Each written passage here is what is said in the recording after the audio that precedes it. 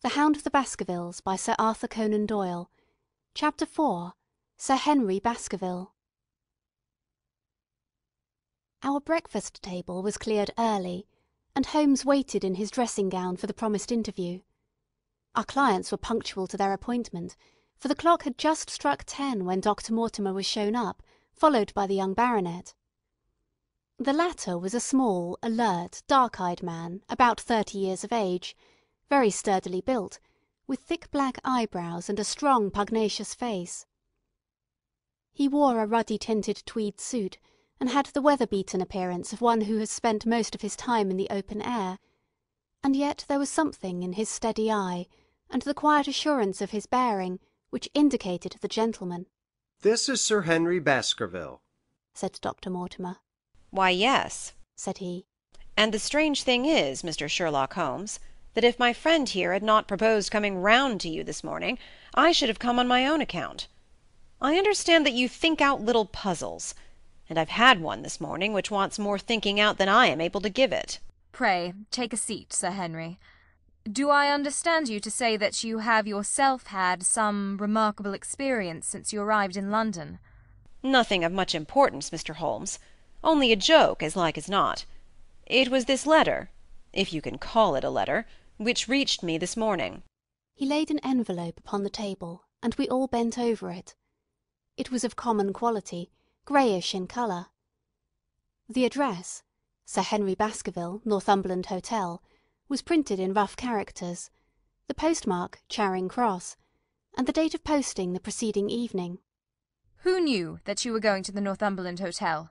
asked Holmes, glancing keenly across at our visitor. "No one could have known. We only decided after I met Dr. Mortimer." "But Dr. Mortimer was no doubt already stopping there." "No, I had been staying with a friend," said the doctor. "There was no possible indication that we intended to go to this hotel." "H'm! Seems to be very deeply interested in your movements." Out of the envelope he took a half sheet of foolscap paper folded into four.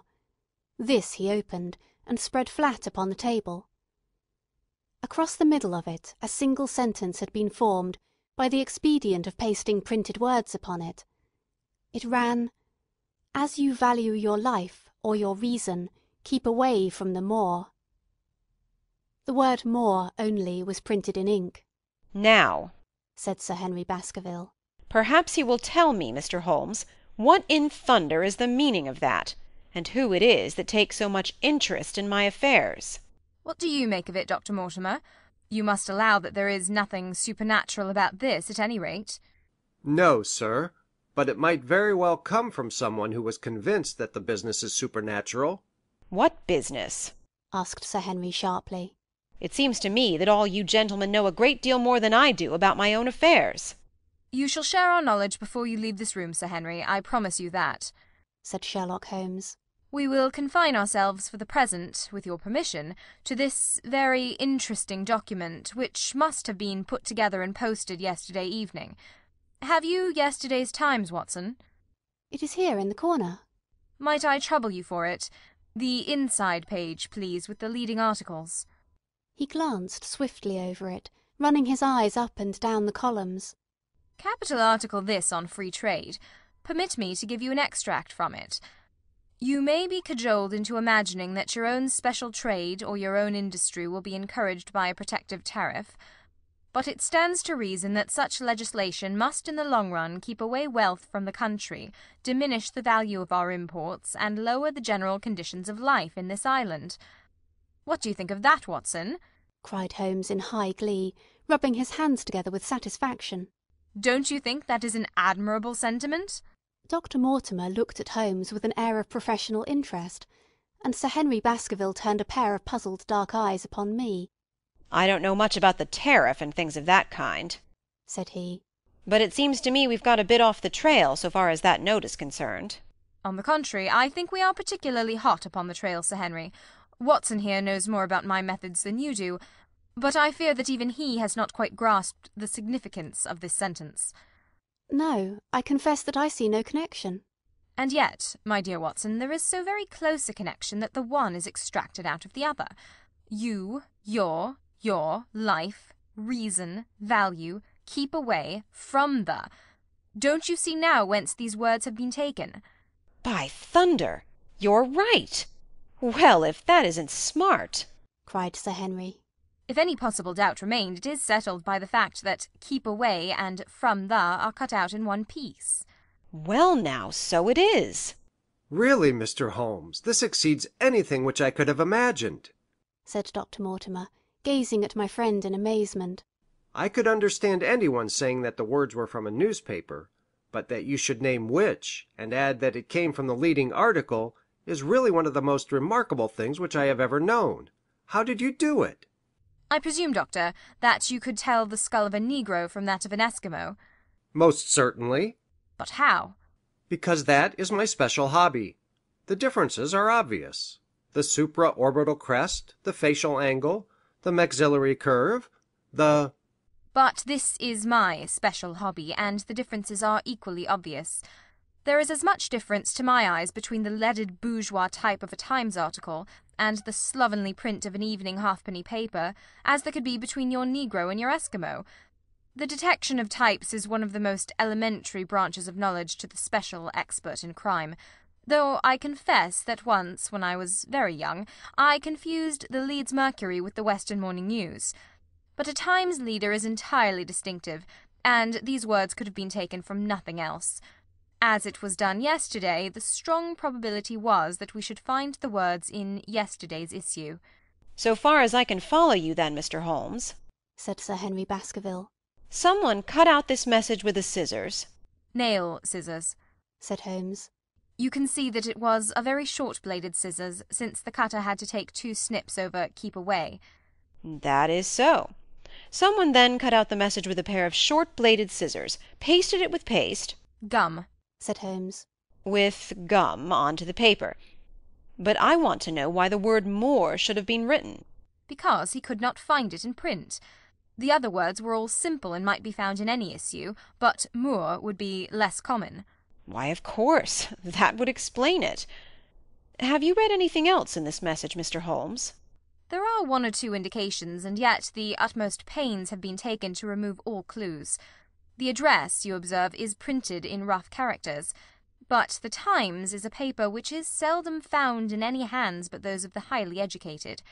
We may take it, therefore, that the letter was composed by an educated man who wished to pose as an uneducated one, and his effort to conceal his own writing suggests that that writing might be known, or come to be known, by you. Again, you will observe that the words are not gummed on in an accurate line, but that some are much higher than others. Life, for example, is quite out of its proper place. That may point to carelessness, or it may point to agitation and hurry upon the part of the cutter. On the whole, I incline to the latter view, since the matter was evidently important, and it is unlikely that the composer of such a letter would be careless. If he were in a hurry, it opens up the interesting question why he should be in a hurry, since any letter posted up to early morning would reach Sir Henry before he would leave his hotel. Did the composer fear an interruption? And from whom? We are coming now rather into the region of guesswork. said Dr. Mortimer. Say rather, into the region where we balance probabilities and choose the most likely. It is the scientific use of the imagination, but we have always some material basis on which to start our speculation. Now, you would call it a guess, no doubt, but I am almost certain that this address has been written in a hotel. How in the world can you say that? If you examine it carefully, you will see that both the pen and the ink have given the writer trouble. The pen has spluttered twice in a single word, and has run dry three times in a short address, showing that there was very little ink in the bottle. Now, a private pen or ink bottle is seldom allowed to be in such a state, and the combination of the two must be quite rare. But you know the hotel ink and the hotel pen, where it is rare to get anything else. Yes, I have very little hesitation in saying that could we examine the waste paper baskets of the hotels around Charing Cross until we found the remains of the mutilated Times leader, we could lay our hands straight upon the person who sent this singular message. Hello, hello, what's this? He was carefully examining the foolscap upon which the words were pasted, holding it only an inch or two from his eyes, Well? Nothing. said he, throwing it down. It is a blank half sheet of paper without even a watermark upon it. I think we have drawn as much as we can from this curious letter. And now, Sir Henry, has anything else of interest happened to you since you have been in London? Why, no, Mr. Holmes, I think not. You have not observed any one follow or watch you? I seem to have walked right into the thick of a dime novel, said our visitor. Why in thunder should any one follow or watch me? We are coming to that. You have nothing else to report to us before we go into this matter? Well, it depends on what you think worth reporting. I think anything out of the ordinary routine of life well worth reporting. Sir Henry smiled. I don't know much of British life yet, for I have spent nearly all my time in the States and in Canada. But I hope that to lose one of your boots is not part of the ordinary routine of life over here. You have lost one of your boots. My dear sir, cried Dr. Mortimer. It is only mislaid. You will find it when you return to the hotel. What is the use of troubling Mr. Holmes with trifles of this kind? Well, he asked me for anything outside the ordinary routine. Exactly, said Holmes. However foolish the incident may seem. You have lost one of your boots, you say? Well, mislaid it anyhow. I put them both outside my door last night, and there was only one in the morning. I could get no sense out of the chap who cleans them. The worst of it is that I only bought the pair last night in the Strand, and I have never had them on. If you have never worn them, why did you put them out to be cleaned? They were tan boots, and had never been varnished. That was why I put them out. Then I understand that, on your arrival in London yesterday, you went out at once and bought a pair of boots? I did a good deal of shopping. Dr. Mortimer here went round with me. You see, if I am to be squire down there, I must dress the part, and it may be that I have got a little careless in my ways out west. Among other things, I bought these brown boots, gave six dollars for them and had one stolen before ever I had them on my feet. It seems a singularly useless thing to steal, said Sherlock Holmes. I confess that I share Dr. Mortimer's belief that it will not be long before the missing boot is found. And now, gentlemen, said the baronet with decision, it seems to me that I have spoken quite enough about the little that I know. It is time that you kept your promise and gave me a full account of what we are all driving at. Your request is a very reasonable one, Holmes answered. Dr. Mortimer, I think you could not do better than to tell your story as you told it to us. Thus encouraged, our scientific friend drew his papers from his pocket, and presented the whole case as he had done upon the morning before. Sir Henry Baskerville listened with the deepest attention, and with an occasional exclamation of surprise. Well, I seem to have come into an inheritance with a vengeance, said he, when the long narrative was finished. Of course I've heard of the hound ever since I was in the nursery. It's the pet story of the family, though I never thought of taking it seriously before. But as to my uncle's death, well, it all seems boiling up in my head, and I can't get it clear yet. You don't quite seem to have made up your mind whether it's a case for a policeman or a clergyman. Precisely. And now there's this affair of the letter to me at the hotel. I suppose that fits into its place. It seems to show that someone knows more than we do about what goes on upon the moor said Dr. Mortimer. And also, said Holmes, that someone is not ill disposed towards you, since they warn you of danger. Or it may be that they wish, for their own purposes, to scare me away. Well, of course, that is possible also. I am very much indebted to you, Dr. Mortimer, for introducing me to a problem which presents several interesting alternatives. But the practical point which we now have to decide, Sir Henry, is whether it is or is not advisable for you to go to Baskerville Hall. Why should I not go? There seems to be danger.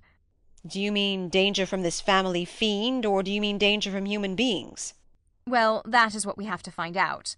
Whichever it is, my answer is fixed.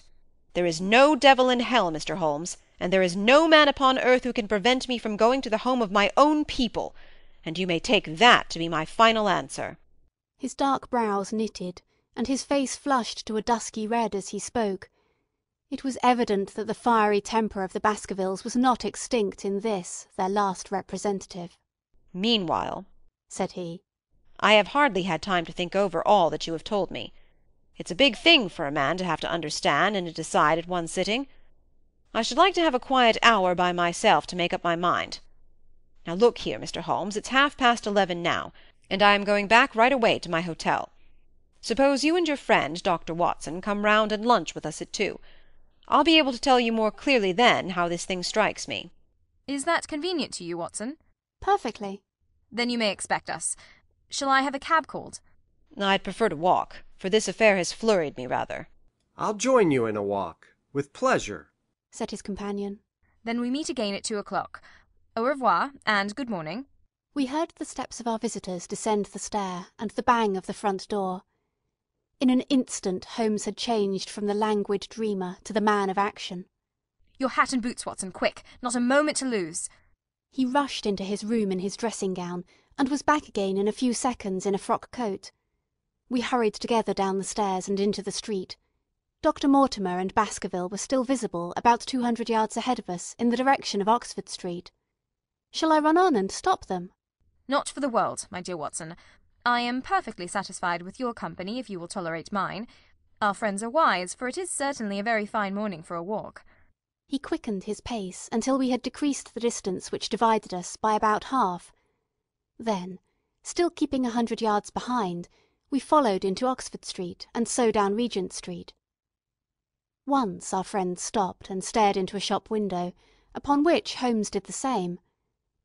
An instant afterwards he gave a little cry of satisfaction, and following the direction of his eager eyes, I saw that a hansom cab, with a man inside, which had halted on the other side of the street, was now proceeding slowly onward again. There's our man, Watson. Come along. We'll have a good look at him if we can do no more. At that instant I was aware of a bushy black beard, and a pair of piercing eyes turned upon us through the side window of the cab. Instantly the trap-door at the top flew up, something was screamed to the driver, and the cab flew madly off down Regent Street. Holmes looked eagerly round for another, but no empty one was in sight. Then he dashed in wild pursuit amid the stream of the traffic, but the start was too great, and already the cab was out of sight. There now, said Holmes bitterly, as he emerged panting and white with vexation from the tide of vehicles. Was ever such bad luck and such bad management too? Watson, Watson, if you are an honest man, you will record this also and set it against my successes. Who was the man? I have not an idea. A spy? Well, it was evident from what we have heard that Baskerville has been very closely shadowed by someone since he has been in town. How else could it be known so quickly that it was the Northumberland Hotel which he had chosen? If they had followed him the first day, I argued that they would follow him also the second. You may have observed that I twice strolled over to the window while Dr. Mortimer was reading his legend. Yes, I remember. I was looking out for loiterers in the street, but I saw none. We are dealing with a clever man, Watson. This matter cuts very deep, and though I have not finally made up my mind whether it is a benevolent or a malevolent agency which is in touch with us, I am conscious always of power and design. When our friends left, I at once followed them in the hopes of marking down their invisible attendant. So wily was he that he had not trusted himself upon foot, but he had availed himself of a cab, so that he could loiter behind or dash past them, and so escape their notice. His method had the additional advantage that if they were to take a cab he was all ready to follow them. It has, however, one obvious disadvantage. It puts him in the power of the cabman. Exactly. What a pity we did not get the number. My dear Watson, clumsy as I have been, you surely do not seriously imagine that I neglected to get the number.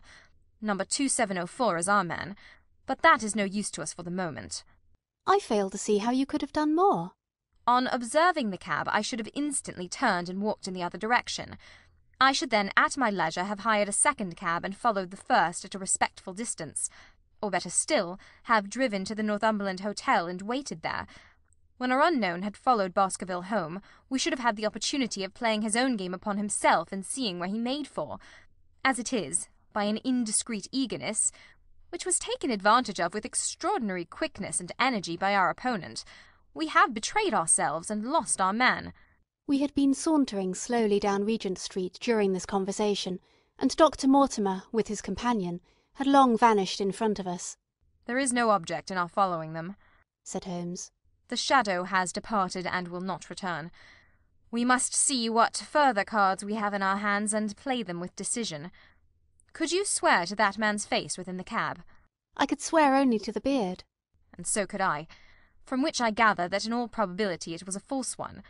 A clever man upon so delicate an errand has no use for a beard save to conceal his features. Come in here, Watson. He turned into one of the district messenger offices, where he was warmly greeted by the manager. Ah, Wilson. I see you have not forgotten the little case in which I had the good fortune to help you. No, sir, indeed I haven't. You saved my good name, and perhaps my life. My dear fellow, you exaggerate. I have some recollection, Wilson, that you had among your boys a lad named Cartwright, who showed some ability during the investigation. Yes, sir, he still with us. Could you ring him up? Thank you. And I should be glad to have change of this five pound note. A lad of fourteen, with a bright, keen face, had obeyed the summons of the manager. He stood now gazing with great reverence at the famous detective. Let me have the hotel directory, said Holmes. Thank you. Now, Cartwright, there are the names of twenty-three hotels here, all in the immediate neighbourhood of Charing Cross. Do you see? Yes, sir. You will visit each of these in turn. Yes, sir. You will begin in each case by giving the outside porter one shilling. Here are twenty-three shillings. Yes, sir. You will tell him that you want to see the waste paper of yesterday. You will say that an important telegram has miscarried and that you are looking for it. You understand? Yes, sir. But what you're really looking for is the centre page of the Times with some holes cut in it with scissors. Here is a copy of the Times. It is this page. You could easily recognise it, could you not? Yes, sir. In each case, the outside porter will send for the hall porter, to whom also you will give a shilling. Here are twenty-three shillings. You will then learn in possibly twenty cases out of the twenty-three that the waste of the day before has been burned or removed. In the three other cases you will be shown a heap of paper, and you will look for this page of the Times among it. The odds are enormously against your finding it. There are ten shillings over in case of emergencies. Let me have a report by wire at Baker Street before evening. And now, Watson, it only remains for us to find out by wire the identity of the cabman, number 2704, and then we will drop into one of the Bond Street picture galleries and fill in the time until we are due at the hotel. End of chapter 4